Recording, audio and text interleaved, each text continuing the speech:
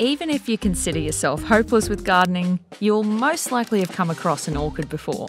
These beautiful, alien like flowers are perfect for any occasion. Housewarming gift? Orchid. Mother's Day? Orchid. Done something awkward? Give them an orchid. They really are the most versatile plant, but there's so much more to what makes them one of the world's most interesting and most important species of plants.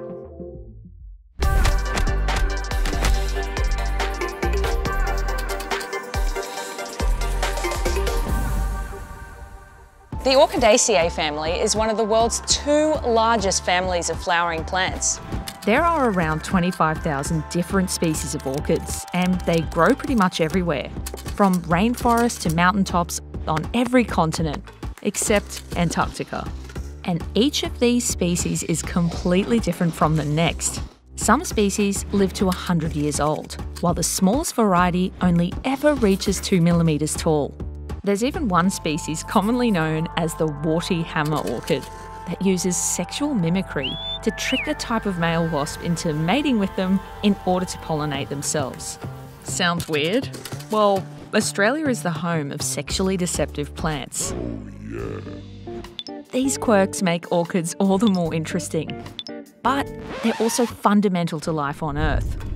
Think of them as the canaries of our ecosystem. Just as a dead canary warned miners of imminent danger, diminishing orchid populations warned scientists of imminent degradation of an entire ecosystem. This is why it's such a massive problem. So many of our native orchid species are under threat. But what exactly is threatening them? To find out, I had a chat with Jessica Wait from the Australian Institute of Botanical Science. So, Jess, we know that orchids are under a lot of threat, but what are some of those main pressures that they face? Orchids face a number of direct and indirect threats. The direct threats could be bushfires, for example. We've also got grazing pressures from livestock, but also from native animals, land clearing and habitat removal. And indirect threats is anything uh, that happens to affect their pollinators. So, a lot of the orchids have very specific pollinator requirements. Is there something else orchids need in particular? Orchids have tiny little seeds. I'm not sure if you can see it very well in here, but we have the seed capsules. And when each of these capsules split, there's up to 20,000 seeds per capsule, so they're dust like. This gives them the advantage of being able to spread across a wide landscape, but the disadvantage is that these tiny seeds have virtually no reserves in which to germinate, and they require the penetration of a mycorrhizal fungi in the very early stage of germination to provide that seed the nutrients in which to germinate. There are over 1,700 different orchid species in Australia and about 500 in New South Wales alone. But what are we doing about it? Scientists at the Australian Institute of Botanical Science are working on a number of ways to preserve our native orchid species. And the first step is seed collection. To get an insight into the fascinating task of seed collecting, I had a chat to Gavin Phillips from the Australian Institute of Botanical Science. So you're a seed collector. What exactly does that job entail? In essence, it's what it sounds like. I go out into the bush and I find seeds, mostly in New South Wales. And there's one species in particular of orchid, the Tallong midge orchid, that you've worked on. Can you just tell us what it kind of looks like and a little bit more about it? So the Tallong midge orchid's a critically endangered orchid. It's very small, really small plant. The flowers themselves are five, seven millimetres across. The whole flower spike might be up to 20 centimetres tall, but when you've only got five or six flowers on a spike, they're really small, and when they're down amongst the bushes, they really don't stand out. Right, so if the flowers are super tiny, how do you even collect something like that? So for the orchids, if we're going to do a really comprehensive collection, we might do some hand pollinating first, where we go in, we'll hand pollinate the flowers. Once we've done that, if we don't interfere, the pods naturally split, they'll ripen up, they'll go green, and as they turn brown, they'll naturally open up and allow the wind to then blow the really light seeds out. For us, we don't want that to happen if we're doing the seed collection. So after the hand pollination or if we come early on, we might bag those seeds in something like a tea bag or very fine mesh bags in order to capture those so the wind doesn't take them away from us. We'll go away, we'll come back after a set time and then we'll be able to get the seeds once they've matured. And the seeds, you know, with orchids, you can get lots out of a single pod, so we get pretty good bang for our buck. And have you had any success with these seeds? You know, they've been brought back to Plant Bank, but you know, what's happened to them after? So we have had success storing the seeds of the Tallong midge orchid here at the Australian Plant Bank. We've got multiple collections from different populations which give us an insurance policy so if something happens to the wild populations we might be able to do something about that in the future. But it's not just pollination and seed collection that is a fine art. Orchids also depend on certain mycorrhizal fungi for their survival. So, along with collecting seeds, researchers also have to collect soil and fresh plant matter where the mycorrhizal fungi live and bring it back to the lab.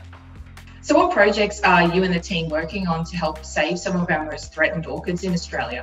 So, we are working with the New South Wales Government's Saving Our Species program. We've been given eight very rare, very endangered species to work on to try and basically germinate them in the lab in the hope that if something does happen to their wild populations, we'll be able to translocate these individuals back into the wild so that they can persist into the future. What's involved in that day to day lab work? You know, what, what does it look like? We really need to be able to store the seeds alongside their mycorrhizal fungi partners. Otherwise, we just cannot germinate the seeds. We try and extract the fungi from living tissue of the orchid, so the roots, the collar of the plant, and the tuber. But we also are trying to do this thing called seed baiting. And I don't know if you can see here, but we've got some site soil which has been collected from about a 10 centimetre radius of the plant in the hope that this soil has the mycorrhizal fungi that we need to grow the seeds. We've then put some filter paper on top and spread some of the seeds on top of filter paper. And we're hoping that that fungi that may exist in that soil may be able to penetrate the seeds and form what we call a protocorm, and then we can extract the fungi directly from the protocorm. Once the team has finished the lengthy process of baiting and growing the fungi, it's time to plant baby orchids on the fungi to see if they take. Growing orchids in a lab isn't all that's needed to protect these incredible plants. You see, they've also got to be pollinated. And for some species that can happen pretty easily, but for those that rely on certain insects, the rates of successful pollination are much lower.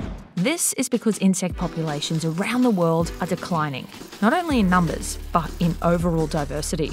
And like we heard from Jessica Wait, some plants have a specific monogamous relationship with their pollinator. And in that instance, they've got to be hand pollinated. And that means using teeny tiny tools like a toothpick. You mentioned hand pollination. Can you explain sort of step by step what you actually have to do? Yeah, so with the hand pollination, because we're trying to get maximum genetic diversity, we want to cross pollinate those flowers. So that involves getting a toothpick, getting the pollen from one flower, taking that to another flower and applying that to the stigmatic surface in that next flower, ensuring that we get a diversity. And we might do that between multiple plants across a site and that can take mm. a considerably long time when we're dealing with very small flowers like on some orchids. So that's what goes into keeping orchids and by extension, our ecosystems alive and well. Now you might be thinking these plants are high maintenance, but a plant as interesting and as important as an orchid is well worth maintaining. An easier way for you to help protect orchids is to support the work of the Australian Institute of Botanical Science with a donation. Fight for our flora and make an impact. Go to botanicgardens.org.au slash donate to help protect our plants and our future.